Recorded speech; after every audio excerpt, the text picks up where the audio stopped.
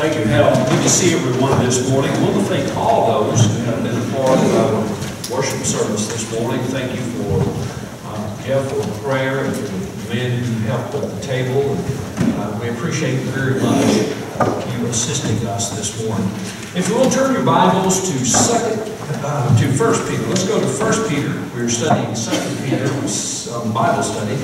But let's go to First Peter chapter five. Knowing your enemy. Now, when we used to think about enemies, of course, enemies come at different times and uh, different situations. Um, they, uh, one of the big trade partners, pardon me, that we have with uh, our economy is Japan. But at one time, uh, we would have seen them as our adversary or our enemy, but things change. But there is one enemy that is always going to be against us, no matter who we are, where we live, what time of history we live, it's not going to matter. And that is Satan. He is our enemy. And the best thing we can do is to arm ourselves of knowledge about him. And over in 1 Peter chapter 5, beginning in verse 5, Peter says, be your elders. Elders here, he's talking about not shepherds or bishops, but rather this is older people. He's saying, Submit yourselves to them.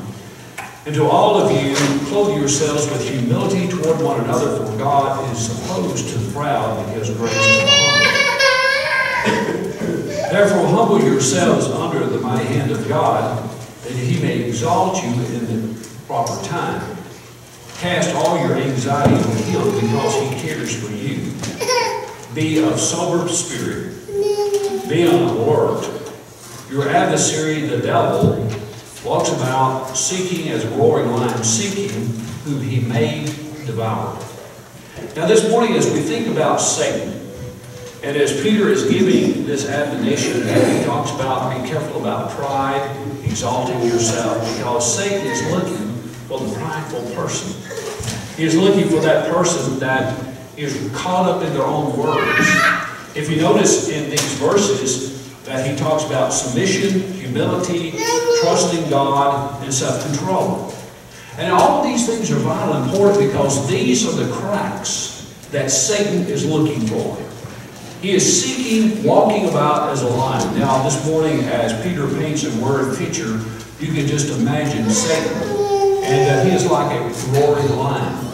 In an area where there are no big predators that roam the hillsides like wolves or bears or lions. But in that day, they understood the danger of a wild animal. Today we don't have to worry about that too much. But yet we still understand that Satan is like a predator. A predator, that's what a lion is. He is a predator. And Satan walks about looking for those that will fall prey to him because of the issues that Peter's just talked about. Now, as I've said, there are five things that I want us to look at about Satan this morning as we understand our enemy. The first thing is, I want you to know, to understand his person. Understand Satan's person. He is a real person. Years ago, and I know I'm kind of dating myself, there's probably a lot of people that's not going to admit this, but Years ago, there was a fellow, a comedian named Flip Wilson. You remember Flip Wilson? Some of you are willing to say, yeah, I remember him. But this was back a long time ago, boys and girls. And uh, he had a TV show, and uh, he had a little saying that he kind of coined that later you could see on T-shirts all over the place. Remember what it was? The devil made me do it. Remember that? And it was kind of a joke that if anything happened, well, the devil made me do it. And we kind of saw Satan as being this unassuming, very uh, calm, and uh, something that is not really powerful. It's more of a joke. But let me tell you, Satan is real. He is not a joke. He is not like uh, the red devil, the red devil I can, or the Underwood's devil Pound can, that's got this person in a red suit with horns and he's got a pitchfork. You know, that, that's not really Satan. Satan is a real person. We sometimes think of Satan as being, well, that's just the personification of evil. But no, he's more than that. He is real. He is a real person. As a matter of fact, the Apostle Paul in Ephesians chapter 2 speaks of him as the prince of the power of the air. Uh, Jesus called him a murderer and a liar from the beginning. Paul described him as being cunning. And if you go to Job, you'll find in Job chapter 1 that he was an individual who showed up on the scene to accuse man. And later on, he is called the accuser of the brethren because he accused man before God. Now, if you really want to see Satan in action, see just how much of a person he really is, go with me to Genesis chapter 3 for just a moment. We'll not take the time to read the entire chapter, but I just want you to see here that, that Satan is a real person. Now, Satan is coming in the form of a serpent. Look in chapter 3 and verse 1. Now, the serpent was more crafty than the beast of the field which God had made. And he said to the woman, Indeed, has God said, You shall not eat of any tree of the garden. The woman said to the serpent, For the fruit of the trees of the garden we may eat. But from the fruit of the tree which is in the middle of the garden, God has said, You shall not eat of it or touch it, or you will die. And the serpent said, Surely you will not die, for God knows that in the day you eat from it, your eyes will be opened, and you will be like God, knowing good from evil. Now, this is Satan in action. And of course, Eve now is going to see the tree in verse 6. She is going to see that it is appealing to the eye, that it is desirable to make one wise, and that it is a fruit that is delicious to eat. Now you see how Satan is a real person. He is not a fictitious character. He is not the epitome of evil. He is not somebody that is running around in a red suit with horns and a pitchfork. But he is a real person. And he is wanting to get at you in any way that he possibly can. And so we've got to know that he is real. The greatest thing that Satan can do is to convince the world that he is not real. That's, uh, that's all he's got to do, is just convince the world that he is not real. And then number two, you've got to know his position. Go with me to Ephesians chapter 6. Know his position. As the Apostle Paul is writing, he tells us in verse 11, Ephesians 6 and verse 11, he says, Put on the whole armor of God that you may be able to stand against the schemes of the devil. Now I want you to notice his position here. Look at verse 12. For our struggle is not against flesh and blood. Satan is not flesh and blood, but he is spiritual. Notice that he says, For our struggle is not against flesh and blood, but against the rulers, against the powers, against the world forces of this darkness, against spiritual forces of wickedness in the heavenly places. His position is a spiritual position. He is known as the tempter, and he is a murderer and a liar from the beginning, but he is not an individual, but he is a spiritual person. As a matter of fact, we're told in, in Matthew chapter 25 and verse 41 that he not only is real, but he also has angels that are with him as well. Do you know that Satan has angels? Over Matthew 25, as Jesus is talking about the judgment day, you know, he's talking of end times. And as he's discussing what is called eschatology, the, the study of end times, he talks about it, Satan and his angels are going to be cast into hellfire. Now notice that he said Satan and his angels. Not just Satan, but and his angels as well. He has a controlling empire or a controlling uh, kingdom. And Revelation chapter 16 and verse 14, the Bible, after talking about the fact that there were these spirits that were coming that looked like frogs, he says, For this is the one who exercises authority over the nations. And when he says exercises authority over the nations, he's talking about that Satan is running loose upon the world. And he is exercising authority not politically, but morally. He is exercising authority over the people of the earth, and he controls them. And uh, also notice that in 2 Corinthians 4 and verse 4, that Paul describes Satan as being the God of this age. Turn with me to 2 Corinthians and look at chapter 4 in verse 4. 2 Corinthians 4 in verse 4. Now notice what he says. I want to begin back in verse 3. And even if our gospel is veiled, it is veiled to those who are perishing. Now, Paul is talking about the, his ministry, and he's talking about the gospel. And some people say, well, the gospel, is it really, is it difficult? Is it not easy to understand? No, he says it is easy. But he says now, if it is veiled, that's what he's talking about, the how easy it is to understand it. He says it's veiled to those who are perishing. It is veiled to those who do not want to understand it, is what he's saying.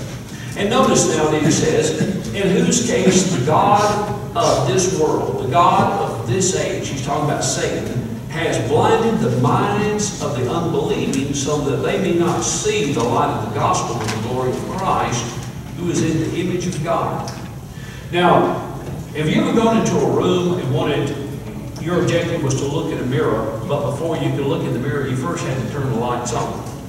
All right, the Word of God is described in James as like a mirror. You know, you want to see yourself physically, you look in a mirror. That's why you go to the uh, department stores and you try on clothes. You try on clothes in a dressing room, and there's usually one thing that every dressing room has got in common. What is that? It may or may not have a chair. It may or may not have a pin cushion. It may or may not have a rack for you to hang your hanger on, but I can just about guarantee you it's going to have a mirror. And the reason is because when you put those clothes on, you want to see what you look like, don't you? You want to see what you look like. Okay, physically we look into a mirror, but when we want to look at ourselves spiritually, we look in the Word of God. And what does the God of this age do? He turns the light off. So that if you look in the mirror, though you can't understand, then what? Well, you can't see yourself. And the understanding comes when you want to understand or you don't want to understand. It's not something that has got to be done through some special operation of the Holy Spirit or anything. I'm not saying that. But I am saying there are those who don't understand the Bible. It's because they choose not to understand it. And the choice, he says, well, they have been blinded in their minds. They have turned the light off so that they cannot spiritually see themselves. They don't want to see themselves. Sometimes we get in a spirit in our mind that we don't want to see ourselves either. We read the Bible, but we don't want to apply it to our life. You see, we flip the switch, we cut the light off. But the objective to be more like the image of Christ is you got to turn the light on so you can see yourself in God's Word, that mirror that, that will show you, or reflect your spirit and how well you're doing. And he says, the God of this world will cut the light off on you. And uh, that's his position now. He is the God of this world. Satan wants control of you. He wants control of you. And the way he does that is by helping you in your attitude to flip off the light switch so you don't read and study and apply God's Word to your life. And then number three, we've got to know His power. We've got to know His power. You know, the Apostle Paul, in describing his job, if you'd like turn with me to Acts the 26th chapter. In Acts 26, Paul is recounting the conversation that he had with the Lord. The Lord, who never struck him down on the road to Damascus, and later on he became the Apostle Paul. But notice as, as he is talking in uh, chapter 26, he is recounting what happened back in Acts chapter 9. He says, look at verse 17, rescuing you from the Jewish people and from the Gentiles to whom I am sending you. This is God talking now to, to Paul. To open their eyes so that they may turn from the darkness to light, from the dominion of Satan to God, that they may receive forgiveness of sins and an inheritance amongst those who have been sanctified by faith in Him. And notice what He said. To turn them from darkness to light. That's the preaching of the gospel. He says, Paul, I've got a job for you to do. I want you to preach this gospel which will turn them from darkness to light and from the dominion of Satan to God. See, that's what's what Satan got? He's got dominion. You notice that? His dominion. And so he's got power. He can work power over you if you allow him to do so. And then number four, I want you to notice, now we've noticed this morning that Satan is real. He has a person, he has a position, he has power, but he also has purpose. His purpose. His purpose, you know that Satan originally had a purpose. And that purpose is found in Isaiah chapter 14 and verse 12. As Isaiah is speaking, he's talking of Israel and how Israel had turned away from God. And now he uses an illustration, and the illustration is Satan. Notice what he says in Isaiah chapter 14 and verse 12. How you have fallen from heaven, O star of the morning, son of the dawn. You have cut down to the earth. You have weakened the nations. But you said in your heart, I will ascend to heaven. I will rise, I will rise my throne above the stars of God, and I will sit on the mount of assembly in the recesses of the north. See, Satan's original uh, uh, thing that he wanted to do was to rise above God. Was to rise above God. God, sometimes we ask the question, well, why did God create Satan? Well, he really didn't create Satan. He created a very powerful angel this angel's name is Lucifer. And this angel was, had more power and more beauty than all the other angels. And God had given the angels the ability to decide whether they wanted to be with him or not. And this angel, Lucifer, had decided that he wanted to take God's throne from him. It was a rebellion. It was like a coup. And so he attempts a coup upon God, and God cast him down. And he says, Now, what happened to you is because of your thinking that I will arise and be higher than God. And God says, No, that's not going to happen. But that's what the, the purpose of Satan. Satan wants you to worship him and not God. Now, today we have uh, satanic worship.